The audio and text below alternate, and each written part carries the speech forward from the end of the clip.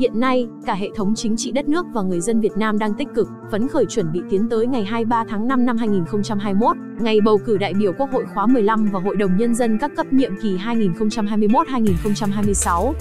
Ngày này, mọi công dân Việt Nam có đủ điều kiện theo luật định sẽ thực hiện quyền lợi và nghĩa vụ của công dân đã được hiến pháp ghi nhận. Đây là dịp để cử tri phát huy quyền làm chủ của công dân, lựa chọn bầu ra những người tiêu biểu, xứng đáng đại diện cho ý chí, nguyện vọng và quyền làm chủ của mình trong Quốc hội và Hội đồng Nhân dân các cấp nhiệm kỳ mới, góp phần tích cực vào việc xây dựng, củng cố và hoàn thiện nhà nước pháp quyền xã hội chủ nghĩa của nhân dân, do nhân dân, vì nhân dân, dưới sự lãnh đạo của Đảng Cộng sản Việt Nam. Ấy thế mà một số tổ chức, cá nhân có tư tưởng chống cộng cực đoan tìm mọi âm mưu, thủ đoạn chống phá, trong đó có thủ đoạn gắp lửa bỏ tay người.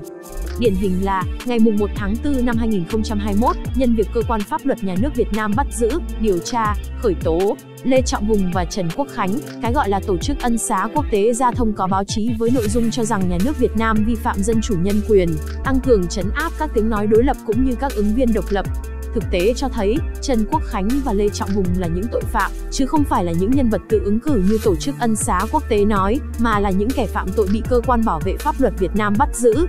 Cả Khánh và Hùng đều bị bắt vì đã có hành vi vi phạm điều 117 Bộ luật hình sự năm 2015, làm, tàng trữ, phát tán hoặc tuyên truyền thông tin, tài liệu, vật phẩm nhằm chống nhà nước Cộng hòa xã hội chủ nghĩa Việt Nam trong một thời gian dài.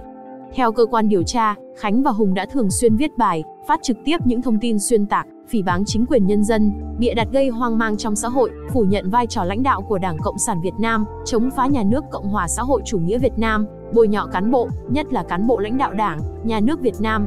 Những hành vi vi phạm pháp luật đó đã làm tổn hại nghiêm trọng đến quyền, lợi ích chính đáng của nhà nước, nhân dân và dân tộc Việt Nam, tính nghiêm minh của pháp luật. Vì vậy, việc cơ quan pháp luật nhà nước Việt Nam khởi tố vụ án, khởi tố bị can, bắt giữ Khánh và Hùng là nhằm bảo vệ quyền con người, quyền công dân, quyền và lợi ích chính đáng của nhà nước, dân tộc Việt Nam, chứ không phải là hành vi vi phạm nhân quyền thông qua đàn áp các nhân vật ra tự ứng cử, như tổ chức ân xá quốc tế xuyên tạc. Việt Nam là một quốc gia độc lập, có nền dân chủ xã hội chủ nghĩa, được quản lý, vận hành bằng hiến pháp và pháp luật. Nếu nhà nước Việt Nam vi phạm nhân quyền, thì làm sao có được môi trường ổn định về chính trị, xã hội, tạo điều kiện ngăn chặn đại dịch Covid-19, khắc phục hậu quả thiên tai thúc đẩy phát triển kinh tế, nhất là trong điều kiện hiện nay. Việc tổ chức ân xá quốc tế gắp lửa tay người bị nhân dân Việt Nam và dư luận quốc tế nhận rõ và lên án, bác bỏ,